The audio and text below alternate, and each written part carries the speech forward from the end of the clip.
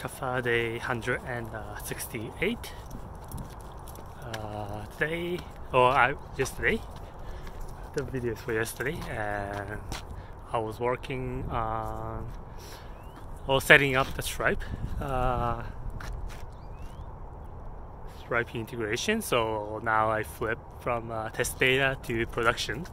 Uh, it's ready. I testing. I'm testing it out now with my credit card, with monthly plan, and see how uh, the whole flow would go with uh, charge and uh, how it would be deposited in my bank account. Yeah, it's interesting. It's something new, and I'm excited. Uh, as much as uh, I would say, I would like to say it's not for money.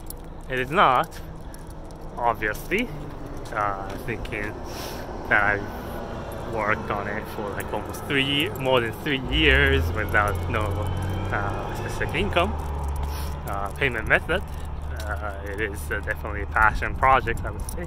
But you know, it is nice uh, the feeling that I might be able to make money from it and maybe make a living. Uh, feels like a progress to me uh, that is psychological I also like focuses you on like what is most important to your app um, like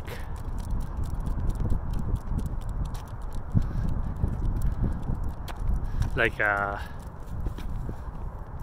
like now I can I can kind of tell which users are not meant to be listening in a way. Like very critical when like you know talking all the uh, asking about all the features. Like I know they would not be paying either, so it'd be nice to like imagine like who most who would most benefit from this app.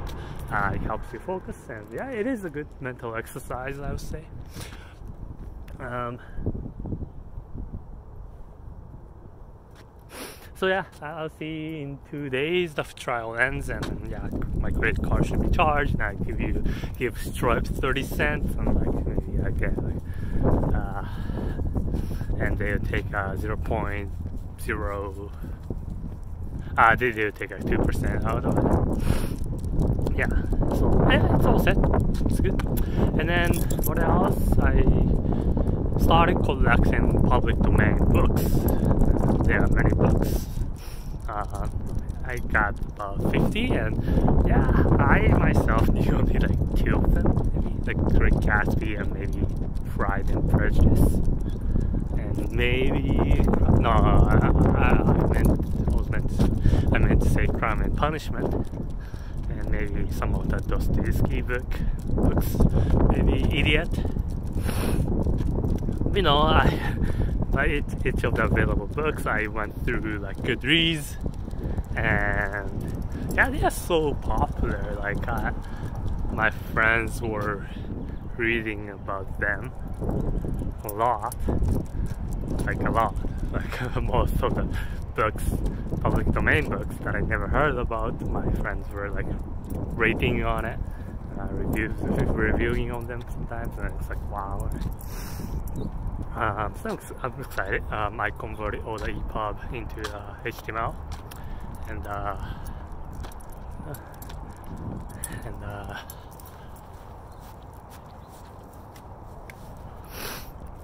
um, uh, yeah. So from HTML, I will start uh, implement it on the UI, how it fits into the reading uh, app.